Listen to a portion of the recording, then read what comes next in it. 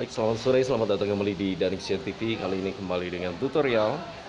Tutorial kali ini adalah tutorial umum tentang tumbuh-tumbuhan. Apakah Anda pernah ingin mengetahui nama suatu tanaman atau pohon-pohonan di sekitar Anda? Langsung saja kita praktek. Hari ini saya akan tunjukkan salah satu aplikasi di Android yang namanya Ini dia, langsung saja buka Play Store-nya.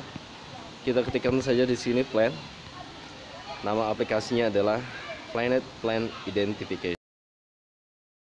Ini berasal dari planet-project.org dan tujuannya adalah untuk dunia pendidikan. Kita install dulu aplikasinya Planet Plant. Dengan aplikasi ini nanti kamu bisa mengecek secara langsung tanaman-tanaman yang ingin Anda ketahui ya. Anda tinggal foto atau juga upload dari galeri kalau memang sudah ada fotonya. Ini kita sedang lakukan proses pemasangan instalasi dari Planet Plan Identity. Tujuannya adalah untuk pendidikan karena di sini uh, seperti sebuah forum begitu ya. Para pecinta tanaman, tumbuh-tumbuhan, bahkan eh, mereka-mereka uh, yang bekerja di bidang tersebut semuanya berkumpul di sini. Oke. Okay. Planet Plan Identification sudah kita install, sekarang kita langsung buka. Mana interface-nya? Nah, ini ada project ya. Ada project, ada news. Oke, okay, press this button katanya ya. Jadi kamu tinggal ambil fotonya aja. Kalau mau uh, apa namanya? mengetahui suatu nama tanaman, tumbuh-tumbuhan maupun bunga-bungaan ya. Ini adalah news di bagian sini di sebelah kiri atas ini project ya. Useful Plan, Useful Plan of Tropical Africa. Ini project-project yang sedang digarap oleh grup dari para pecinta tanaman ini. Kamu bisa ikut gabung di situ. Kemudian di bagian uh, atas kanan adalah news tentang berita. Siap. Lalu kemudian di sebelahnya lagi ada explore.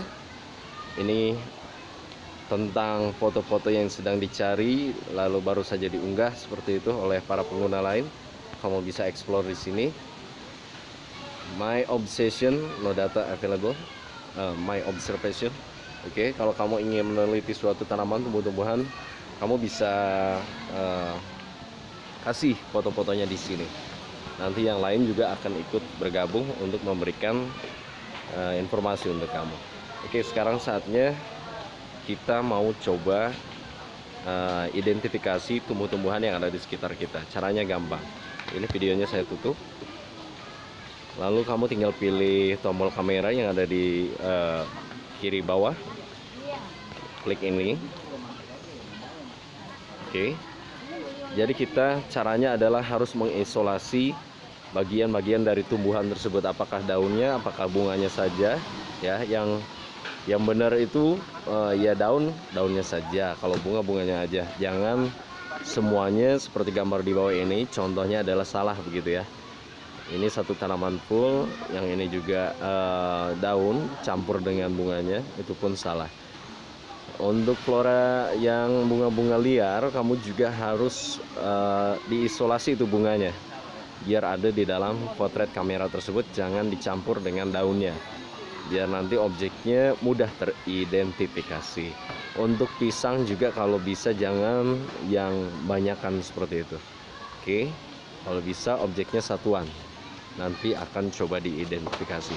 Oke kita sudah lihat aturannya bagaimana cara mengambil foto yang benar. Sekarang kita tinggal pilih choose choose a picture with apakah pakai kamera apa galeri. Kalau misalnya kamu udah pernah foto sebelumnya ada di galeri kamu foto-fotonya kamu bisa pilih galeri. Kalau belum kita bisa pilih kamera. Oke saya pilih kamera.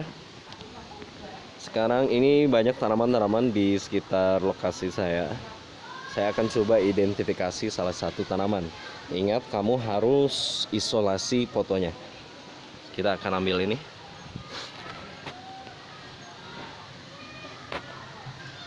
Usahakan jangan tercampur dengan foto daun lain. Oke. Saya sudah uh, foto satu daun ini. Kita akan upload apakah aplikasi ini bisa mengenali, mengidentifikasi tanaman atau tumbuhan yang kita ingin ketahui. Jenisnya foto yang kita upload tadi adalah bagian daun. Jadi leaf ya. Kalau flower itu bunganya, kalau fruit itu buahnya, kalau stem itu batangnya. Jadi kita pilih leaf untuk daun. Oke. Kita akan cari apakah di database sudah ada. Sip. Ini dia. Nanti semua foto-foto yang hasilnya sama dengan foto yang kita upload akan ditampilkan. Ini yang sudah ada di database planetplan.org ya. Ini di sini namanya adalah Agloenema commutatum skut. Oke. Ini yang di bawah ini adalah yang sama ya, tapi jenis-jenisnya berbeda karena aglonema ini banyak uh, banyak banyak bentuk lainnya. Oke, yang ini yang kita observasi. Ya. Kamu juga bisa di sini uh, kasih nama sendiri kalau memang kamu sudah mengetahuinya. Undefined ini yang ada di database mereka adalah aglonema begitu. Kamu bisa kasih nama sendiri ya. Ini hasil observasi kita di tab sebelah kiri. Resultnya atau hasilnya ada di sebelah kanan jadi itu caranya untuk mengidentifikasi tanaman-tanaman yang ada di sekitar kita oke tadi baru satu saya akan coba lagi satu lagi ada add feature, ada new plan. Kalau new plan berarti tanaman baru, jenisnya berbeda begitu, kamu bisa tambahkan. Kalau misalnya saya ingin identifikasi jenis tanaman yang baru, saya pilih new plan. Saya pilih kamera karena saya belum memiliki fotonya. Saya akan coba pilih mau yang mana? Saya akan coba ya. Ini adalah salah satu tanaman tumbuhan uh, yang apa namanya yang yang banyak di kita ya di Indonesia. Saya ingin identifikasi tanaman apakah ini. Usahakan sekali lagi isolasi gambarnya biar lebih jelas. Kalau daun-daun aja, kalau bunga-bunga, kalau batang ya batang gitu. Saya ingin mengetahui apakah di database mereka juga ada nama dari tumbuhan ini. Di search pastikan untuk apa namanya untuk koneksi internet kamu ada kuotanya. Ini tidak ketemu ya. Fly not found in this reference. Please switch to green. It may be a oke. Okay. kalau misalnya gagal seperti itu karena dia kan ini untuk identifikasinya agak sulit karena banyak tercampur dengan uh, daun-daun yang lainnya terlalu banyak ya. Ini kita bisa rubah misalnya apa di stem coba ya. Ya. Kalau misalnya tidak ada kamu bisa coba foto lagi ya. Ini saya akan ambil foto ketiga. Ini saya mau identifikasi tanaman ini just oke okay. ini adalah bagian daun kita searching plant not found oke okay. it may be iris it may be katanya ini kemungkinan adalah iris pseudochorus L gitu ya kalau hasil observasi kita tidak diketemukan karena sekali lagi eh, jangan lupa untuk mengisolasi gambar atau foto yang ingin kita eh, observasi gitu ya. Saya akan coba yang baru. Karena ini tadi tidak terdetek saya akan coba melalui kamera. Lalu di sini saya ada ada ada tanaman daun dan juga ada bunga. Sekarang kita akan coba foto bunganya aja. Terdetek enggak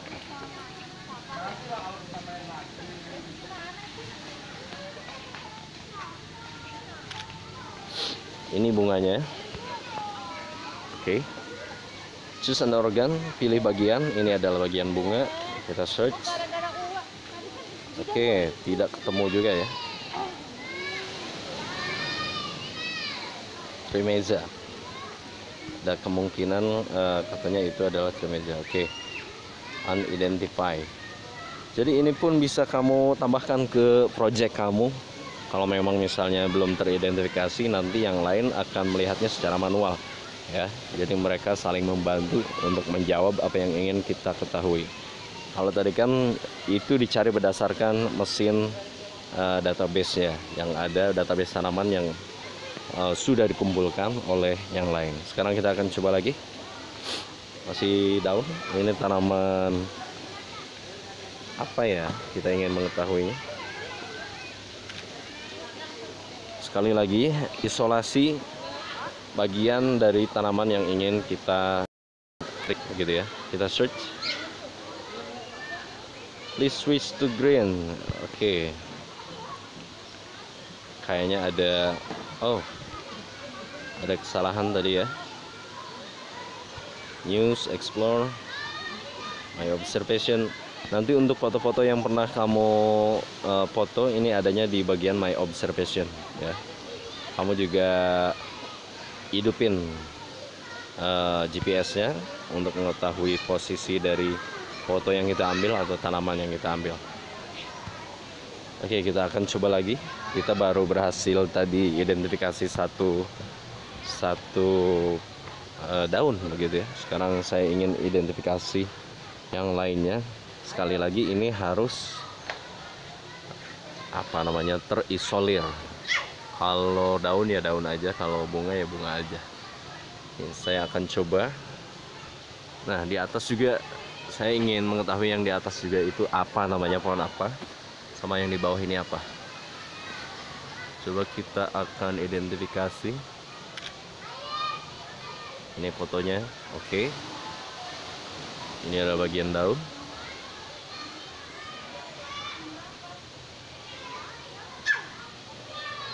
Oh, tidak ketemu juga. Ma maybe katanya ini adalah Davalia solida GeForce gitu ya. Oke. Okay. Tampaknya ini sudah tidak ketemu beberapa kali.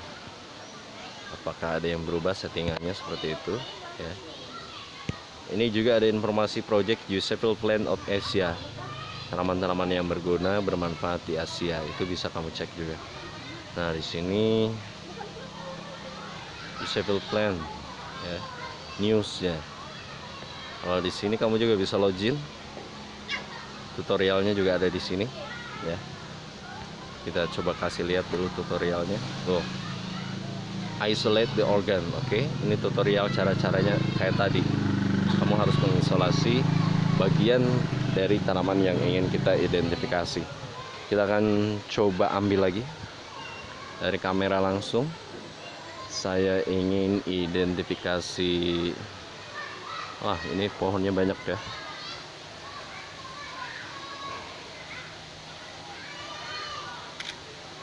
Nah ini sebenarnya pohonnya agak campur-campur ada pohon lain ada daun. Coba saya pilih leaf di search apakah berhasil atau tidak. Nih kalau ini ketemu ya. Tuh ini namanya nama latinnya Asplenium nidus. Tuh hasilnya sama ya kalau di kita namanya pohon kadaka. Ini tipe-tipe pohon yang lainnya. Banyak beda-beda itu tipenya dan macamnya. Jenisnya beda-beda. Ya ini masih di genumnya atau masih dalam satu family keluarga dari uh, pohon pohon kadaka ini. Oke itulah cara untuk mengetahui nama-nama pohon nama-nama tanaman tumbuhan yang ada di sekitar kita. Ya ini uh, atas hasil observasi yang lain kalau di bagian bunga ini kadaka ya bunganya seperti ini daunnya. Ya kamu bisa klik dan nanti bisa dilihat Asplenium nidus ya. Tanaman ini berfungsi sebagai penyerap air juga ya lalu ini daunnya seperti ini bentuknya tuh banyak. Kamu bisa mendapatkan foto-foto dari yang lainnya juga. Ini jenis-jenis kadakanya macam-macam ya. Kalau di bagian atas ini ada bagian full satu pohon. Tuh. Ada yang dibudidaya dan lain sebagainya. Bahkan kamu bisa melihat halaman di Wikipedia tentang kadaka ini atau Asplenium nidus ini. Nampaknya koneksinya terganggu namun inilah guna dan manfaat dari salah satu aplikasi Android. Ini sangat bermanfaat dan sangat berguna. Namanya adalah PlanNet oke? Okay? PlanNet jadi ini adalah untuk observasi tanaman dan tumbuh-tumbuhan. Saya akan coba kembali. Saya penasaran dengan salah satu pohon ini. Ini sebenarnya daun apa namanya? Oke kita coba identifikasi. Bagiannya adalah daun dan ini sudah ketemu. Ini termasuk eh, apa namanya kadaka juga deh ya. Oke ini ini adalah hasil observasi saya yang saya cari tadi. Dia kadaka tapi jenisnya kayak lidah lidah seperti itu ya kayak jari. Ini hasil pencarian kita namanya ini Microsorum punctatum couple. Ini belum nampak nih. Ini hasilnya seperti ini. Ah, tanaman-tanaman uh, sejenis nih ya. Ini hampir sama dengan kadaka tapi memang dia daunnya lebih kecil. Nih sama aja nih kayak gini. Ini sama ya? Oke. Semua ini tergantung dari koneksi internet kita. Jadi pastikan koneksi internet kamu bagus untuk mengetahui ataupun observasi tanaman-tanaman yang ingin kamu ketahui.